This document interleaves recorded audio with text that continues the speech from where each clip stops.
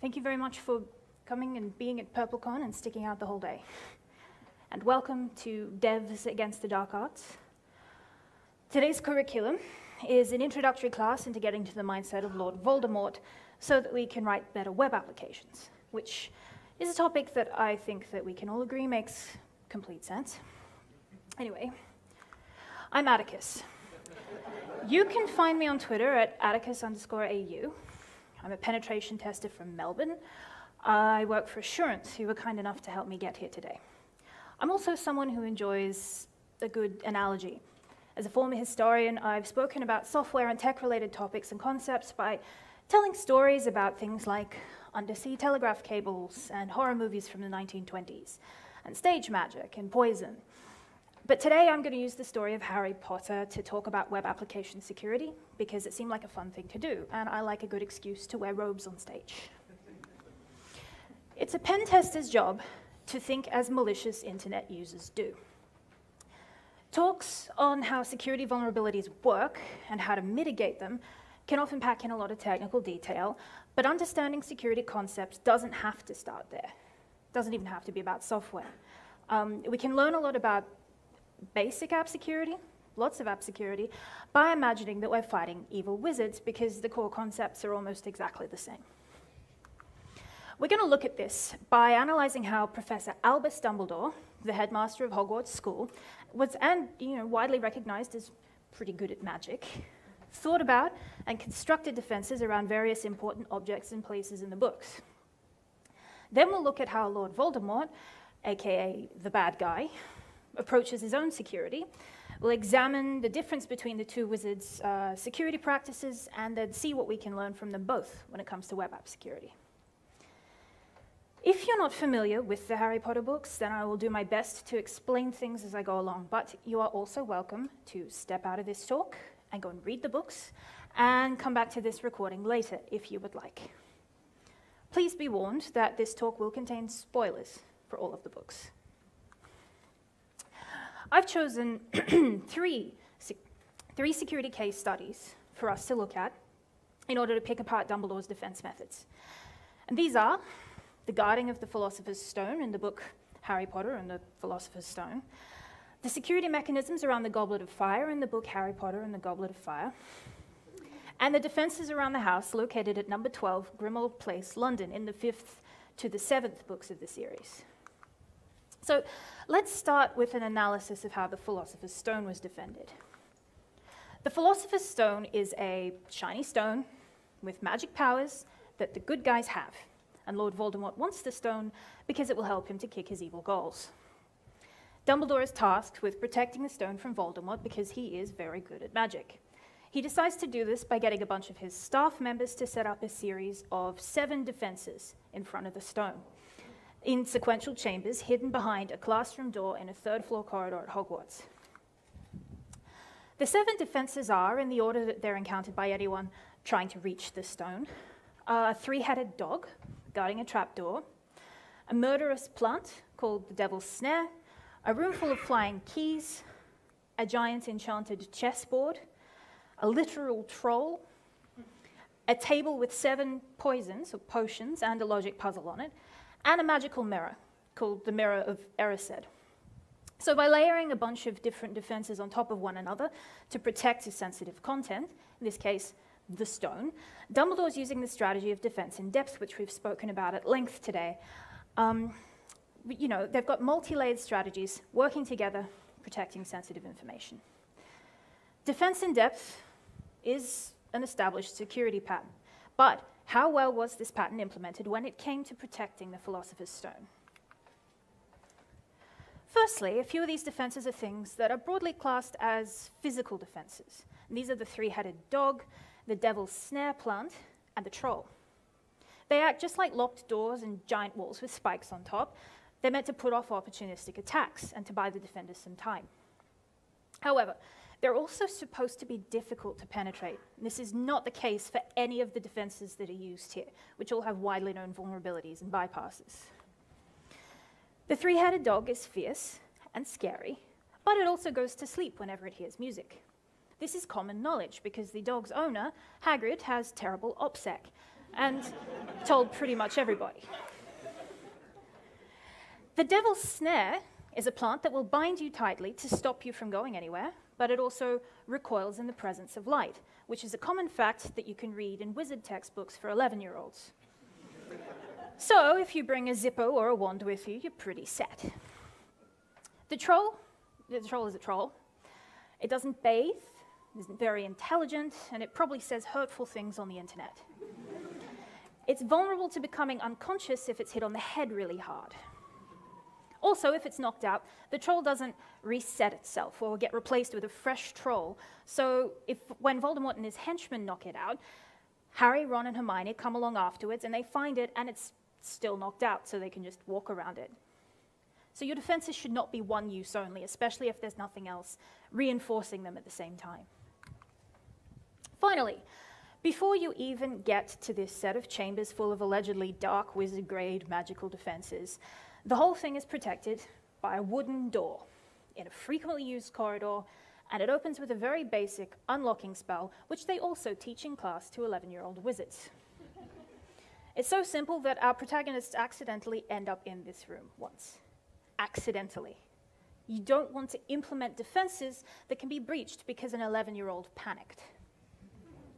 Also, the books are filled with portraits that enforce magical passwords. Why one of those wasn't used here is completely beyond me. Next, we run into another common pattern that's designed to stop attackers by being just annoying enough that most people will give up and go away. This is done by treating sensitive information like a needle in a haystack, also known as security through obscurity. The info's right there, but it'll take patience to go through everything and find it. You see this kind of thing a lot on the web, where apps will make sensitive documents or endpoints public, and they give them weird names and hope that nobody will spend the time to try lots of different combinations to find them. This is a commonly used method for hiding sensitive information because it's quick and it's easy to implement. But it's also not a very strong defense, and it has some easy bypasses, as you're about to hear. We can see this pattern used in the case of the room full of flying keys, and also in the case of the final defense, the Mirror of Erised.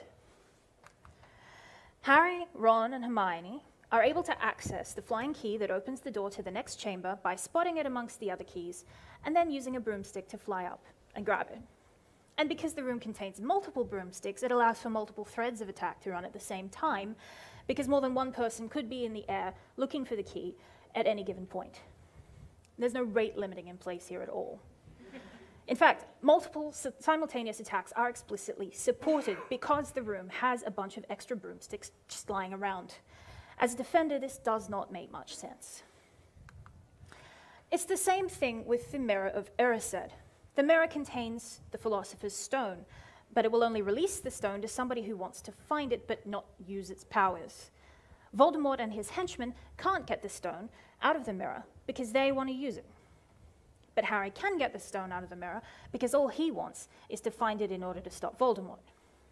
Ironically, Harry would have achieved his goal much more easily if he hadn't gone after the stone in the first place, because it was his presence in the room that allowed the stone to be released from the mirror. Once it was out, the bad guys tried to grab it from him. It was only Dumbledore turning up at the last minute to, to fight them off that stop this from happening, like some kind of admin SSHing into prod to do a live patch. Likewise, there didn't appear to be any rate limiting on this mirror. Theoretically, Voldemort could have grabbed the mirror, taken it out of the chambers, and then set it up and had a whole bunch of people look into it until one of them fulfilled its conditions. That is, they wanted to find the stone but not use it. And then he could have hit them, head, hit them over the head with a brick and, and stolen the stone. Our last type of defense in front of the Philosopher's Stone is what amounts to a couple of CAPTCHA tests. So, CAPTCHA stands for a completely automated public Turing test to tell computers and humans apart. It usually looks like a bunch of warped text, or more recently, it gets you to train self driving cars. and it's supposed to be a task that only an attentive human would be able to complete in order to stop a bot or a script from using the feature that it's protecting. These CAPTCHA-style defenses are the enchanted chess game and the logic puzzle with the potions. The enchanted chess game is it's just a game of chess. except all the chess pieces are animate and they will knock you out if you're standing in place of the piece that gets taken. Knowledge of how to play chess isn't secret. It's just a task that takes time and concentration to complete. This slows you down a little bit, but it doesn't guarantee that you'll be stopped from getting to the other side. In the same way, the logic puzzle with the seven potions isn't something that can be brute forced easily. First, you have to solve the logic puzzle to determine the contents of each of the bottles of the potions. You get one chance to drink the potion out of the lineup that will allow you to either go forward to the next chamber or move back to the previous one, so you need to make sure that you've made the right choice. And if you're thinking that you could just drink them all and YOLO your way out of there, one of the bottles contains a poison that will kill you. So it's not a good strategy. And this task, like the chess game, is designed to make sure that the person, who th- that the person who's trying it thinks about it. But it isn't designed to be all that difficult. Both of these things are also designed to take time. You can't just run through the room to the next thing. You're forced to stop and to engage on an intellectual level with what's going on. If you implement a defense that takes time to bypass, you give yourself more time to respond to an attacker. On the other hand, these defenses aren't all that difficult to bypass. All the information needed to get past them is either common knowledge in the case of how to play chess or right there in front of you in the case of the logic puzzle. And much like real CAPTCHAs, these things are incredibly annoying, especially when you have to deal with them on your way in and you're a legitimate user. The main point of employing defense in depth is to buy you time to respond to an attack if you're a defender. The main downfall of all of the above mechanisms is that you can't buy time to respond to an attack if you don't even know that the attack is happening, which is exactly the case with the Philosopher's Stone. There is no useful logging or monitoring or alerting going on here at all. None.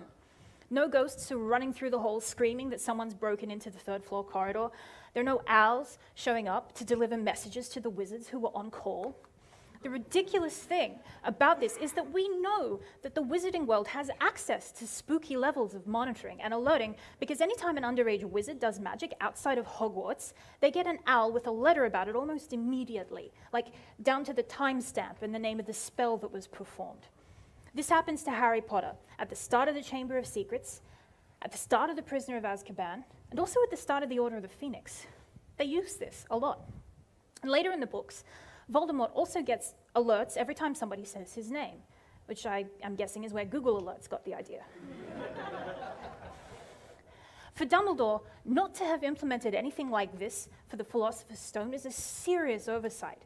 Just because he turned up right at the end to save Harry from being killed by Lord Voldemort, it doesn't make him a hero. It makes him kind of a negligent ops engineer. Dumbledore should have been waiting for Voldemort before he even got past the first room. Not to mention that because of his design, he had to fight past all of his own defenses the exact same way in order to get to the stone, just like any old attacker, which doesn't seem like the most efficient way to do things. So, scorecard for defenses on the Philosopher's Stone, maybe a 4 out of 10. Okay attempt at using defense in depth, but uses multiple known vulnerable defenses and is severely let down by lack of monitoring and alerting. All right, let's move on to look at the Goblet of Fire. The Goblet of Fire is a magical cup which has the job of deciding which students will compete in the Triwizard Tournament, which is an inter-school magical competition and it appears in the fourth book, Harry Potter and the Goblet of Fire. Students can write their name on a slip of paper that goes into the goblet, and submissions are open for 24 hours. And then there's a ceremony where the cup will return the names of one candidate per school who are then bound to compete in the Triwizard Tournament. It was decided that the only students who could compete in the Triwizard Tournament during the course of Harry Potter's fourth year at Hogwarts should be aged 17 and over because the competition was so dangerous. The only other rule for the selection of candidates for the goblet was that there should be only one candidate chosen per school. Traditionally, three schools compete in the Triwizard Tournament, hence the name. The plot of the Goblet of Fire revolves around the fact that 14 year old Harry Potter is mysteriously chosen to be the fourth Triwizard champion. How this happened, when Harry was under the age of 17 and a champion from his school had already been selected, is revealed at the end of the story, and I'll dig into the vulnerabilities exploited there in just a second. But firstly, let's have a look at the goblet's configuration and security settings. We aren't given much information about how the goblet makes its decisions about the Triwizard candidates, but we do know that Dumbledore put one defense mechanism in place around the goblet, an age line. This was supposed to stop anybody under the age of 17 from entering the space and putting the paper with their name into the goblet.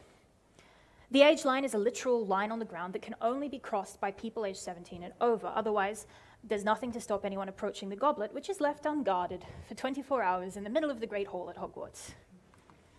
Dumbledore said he did this to ensure that no underage student yields to temptation. But people try to bypass the control mechanism pretty much immediately. In the 24 hours that it's open, we learned that four students try to trick the age line by taking an aging potion to make themselves a few months older. This doesn't work. The spell throws them out of the ring immediately. A successful age line bypass is made on behalf of Lord Voldemort by Barty Crouch Jr. in disguise as Mad Eye Moody. There are plot reasons for this. As one of the Hogwarts teachers. He enters Harry Potter's name into the goblet and is successful in having Harry chosen as the fourth Triwizard champion, which is part of Voldemort's evil plan. Crouch circumvents the protections around the goblet in two ways. Firstly, he is over the age of 17. There's nothing in the books to say that a person over the age of 17 couldn't enter someone else's name into the goblet. It's not clear if any other students added this, tried this, but if they did, they weren't chosen, so we don't know about it. Going on what we do know about Crouch's hack, the age line only checked if the person crossing it was over the age of 17. It didn't check if that person was adding their own name to the goblet or somebody else's. The authorization of app requests is important especially when those requests are making changes to a database. The goblet didn't have any kind of authentication or authorization protections whatsoever, which is a serious oversight. Secondly, Crouch uses a confundus charm on the goblet to trick it into thinking that there's a fourth competing school in the competition and that Harry Potter belongs to the school. Because Harry Potter is the only candidate for the fourth school, he's chosen to compete in the Triwizard Tournament. There don't appear to be any data injection defenses on the Goblet of Fire at all either, or if they are, they're not very strong ones. If the goblet had validated the names of the schools that were submitted against its own known list of schools, it may have been more likely to reject the presence of a fourth school, and then Harry wouldn't have been guaranteed to be chosen. Also, the data that was entered into the goblet should have been sanitized before it was added, and then again for bad data before the final vote was run. This could include stripping out data with the names of bogus schools, as well as matching and removing names that corresponded to students that were under the age of 17. The long and short of this is that you should never trust user input into your app or your goblet. Your user might be legit, or they could be submitting post requests on behalf of Lord Voldemort. Scorecard for the defenses on the Goblet of Fire 2 out of 10. The age line worked well against some basic attacks, but Without authorization and authentication, and without validating user input, it was vulnerable to data injection and the plots of evil wizards. For our last case study, we will examine the protections that Dumbledore placed around number 12 Grimmauld Place in London. This addresses the house of Harry Potter's godfather, Sirius Black, and for a few years it acted as the headquarters of the anti Voldemort activist group, the Order of the Phoenix. Because of its status as Order HQ, the house became a target for dark wizards, Lots of prominent members of the Order, including Dumbledore and Severus Snape and Harry Potter, were known to spend time there. This made it pretty important to defend properly, so the Order looked to its leader, Dumbledore, to harden the configuration of the house as much as possible. The main defense that number 12 had going for it was the Fidelius charm. In the words of one of the Hogwarts teachers, the Fidelius charm is an immensely complex spell involving the magical concealment of a secret inside a single living soul. The information is hidden inside the chosen person, or secret keeper, and is henceforth impossible to find, unless, of course, the secret keeper chooses to divulge it. The secret in this case was the location of the headquarters of the Order of the Phoenix. Dumbledore was the secret keeper for this particular spell, which effectively meant that he was the only one who could tell someone where the headquarters was. Once someone else knew about it, they were unable to pass that knowledge on, even if they were tortured or coerced. The main problem with the Fidelius charm is that it has a single point of failure, and that's the secret keeper. That person has to be the one to tell everybody who needs to know the secret. However, Harry Potter learns about number 12 Grimmauld Place because Dumbledore writes the secret down on a piece of paper, hands it to someone else, who then passes it to Harry. This is an extremely insecure method of transport. this note could have been accidentally dropped and read by anyone. It was totally in plain text. The information that it had on it was only kept secure because after Harry reads it, the note's set on fire by the person who gives it to him. If they hadn't done that, presumably the note could have been handed around any number of people and the secret would have been shared multiple times. Dumbledore clearly had not heard about transport encryption. the other problem with the secret keeper method of keeping number 12 safe is that when the secret keeper dies, anybody who was told the secret automatically becomes the secret keeper themselves. The Order of the Phoenix runs into this problem after Dumbledore dies. In Harry Potter and the Deathly Hallows, the protagonists explicitly have to deal with the fallout from this. Mr. Weasley had explained that after the death of Dumbledore, their secret keeper, each of the people to whom Dumbledore had confided Grimmauld Place's location had become a secret keeper in turn. And as there are around 20 of us, that greatly dilutes the power of the Fidelius charm.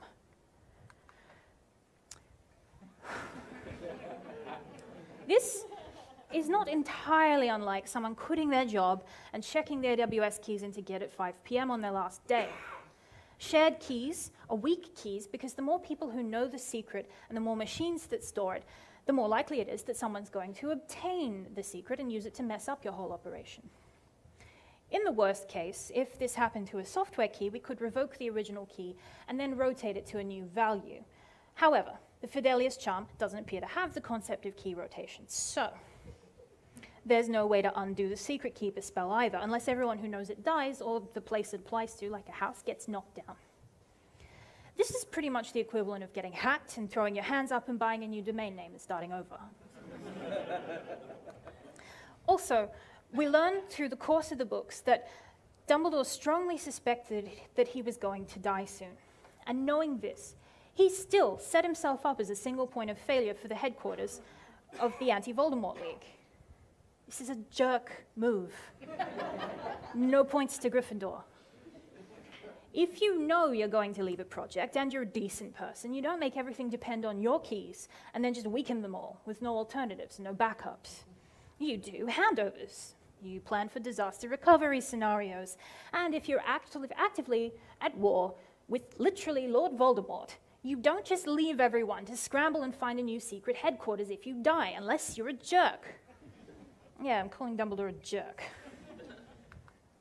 I give this defense 0 out of 10. No disaster recovery options, and secrets can only be transmitted insecurely. Keys can't be revoked. So if Dumbledore, thinking like a good wizard, was unable to get into the mindset of a dark wizard, then how do they think? And how does that help us do better? Well, let's compare the previous case studies to Voldemort's security model. Before the start of the Harry Potter books, even before his Death Eater startup had really gotten off the ground, Voldemort decided that he needed to make backups so that he could recover himself if something bad happened, and so he could survive attempts by other wizards to knock him offline. he did this by creating Horcruxes. Here's how one Hogwarts professor describes Horcruxes. Well, you split your soul, you see, and hide part of it in an object outside the body then even if one's body is attacked or destroyed, one cannot die, for part of the soul remains earthbound and undamaged. Voldemort decided to create seven Horcruxes because he knew that if someone tried to murder him and knock one of his availability zones offline, he could just fail over to any of the other ones while he resolved the incident. He also decided that these Horcruxes needed to be stored in geographically different places so that it would be more difficult to take them all out at once, so he went to a lot of effort to ensure that they were placed safely out of the way in a wide range of locations. The main weakness in the Horcrux method, which was the thing that was ultimately used to destroy Voldemort in the end, is that he used personally relevant information when he created them. He chose artifacts that were significant to him and could be identified with some strategic intelligence gathering. So this meant that Dumbledore was able to deduce the existence of Horcruxes and what they were likely to be, and pass that information on to Harry so that he could carry on destroying them. The other problem with Voldemort's system was that despite having mastered the art of monitoring and alerting in his day to day operations, he had no alerting on the status of the Horcrux infrastructure, which, again, oversight. He set up lots of defenses around the Horcruxes and didn't just assume that they would defend themselves, which is not great security posture. The lack of monitoring and alerting meant that it was easy for Harry and Dumbledore to systematically hunt all of the Horcruxes down and then destroy them without Voldemort noticing, even though he had alerts going on for all kinds of other important things. But overall, the Horcrux plan worked really well. It took a team of dedicated opponents a lot of time and effort to find them and destroy them all. And ultimately, the time that Voldemort spent drawing up a disaster recovery plan, creating backups, and segregating storage meant that he managed to keep the bare minimum alive and running for 14 years after the massive outage he experienced when he tried to kill baby Harry. And eventually, he was able to restore fully from backup at the end of the Goblet of Fire. My scorecard, seven and a half points out of 10. Good use of disaster recovery, redundancy planning and infrastructure segregation. Monitoring and alerting need work, and personal details shouldn't be used as keys to secure important information. So, why is Voldemort more thorough at planning defenses than Dumbledore? In the end, Harry Potter and the good guys end up winning against him, but the cost is huge. The losses are great. And part of why this happens is because Voldemort and his followers are driven by extremely different motivations, and they have different standards of right and wrong than most wizards do. Dumbledore generally just wants to eat sherbet lemons and hang out with his pet phoenix and help young witches and wizards be their best selves. Voldemort wants to start a race war and literally take over the world. He's got goals that most wizards quite reasonably don't. So he's going to consider use cases and methods that most wizards wouldn't in order to get that stuff done. With regard to attacking things, Voldemort tries all kinds of weird, out of the box, often unethical methods for achieving his ends. If you're a wizard who generally wants to do good and make other people happy, getting into the frame of mind of someone who once tried to literally murder a baby in cold blood is going to be kind of hard. But it is worth that mental exercise if you want to plan defenses against the kinds of strange and disturbing things that an opponent might actually try to do to get the information that you have, and if you want to understand the things that motivate them. The other reason that Dumbledore's defenses are more thorough than Dumbledore, uh, that Voldemort's defenses, sorry, are more thorough than Dumbledore's is because Voldemort's a paranoid person who trusts nobody and has no friends. he knows most people are against his plans, and that the only person that he's going to help is himself, which is why he starts thinking about making Horcruxes while he's still at school. Conversely, Dumbledore leans more towards creating groups of confidants, building teams, and trusting others with important tasks. And there's nothing wrong with wanting to do any of these things. I think that the best places that I've ever worked really have been in strong teams that trust each other to do the right thing and give each other mutual support. But for your app's outward facing defenses, you'll develop very strong ones if you, can, if you think that everybody's out to get you. You'll plan even better defenses if you can think of the types of groups that might be out to get you and what might motivate them to try and attack you. You'll do even, even better if you assign likelihoods to each of these risks and prioritize defending against them accordingly.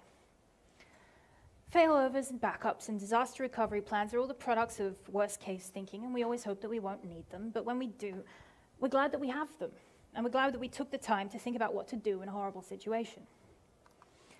So, what does all of this boil down to when it comes to web app security? So it's a tricky space, and those of you that are tasked with defending your apps have an extra hard job of trying to anticipate the work of attackers. Luckily for you, you are at a security conference. And because I have the honor of speaking last today, you've probably already heard the sage advice of all the other PurpleCon speakers, and you're ready to go and think good and hard about it over dinner.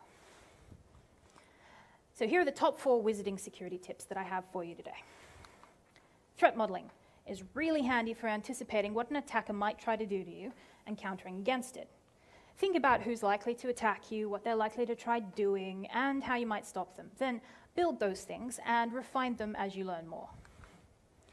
Defense in depth also helps your app stay secure. Just remember that to make sure that your, your app is using different kinds of layers of defenses over one another, and that all your defenses are independently robust and that they build on each other's strengths. Especially make sure that you review your defenses regularly and keep them up to date. Have a disaster recovery plan. Things are going to go bad, and it helps to have thought about what you're going to do in those cases and to have practiced for it. In security, thinking about the worst case scenario is our strength. So make sure that you use it to your advantage. Plan for the absolute worst. Finally, stay on top of the very basic things that let dark wizards pass your defenses. Patch your software, patch your dependencies, test for the OWASP top 10 on a regular basis. And remember that you need to keep doing this often because things can get out of date quickly and dark wizards never rest. That's it for today's Devs Against the Dark Arts class.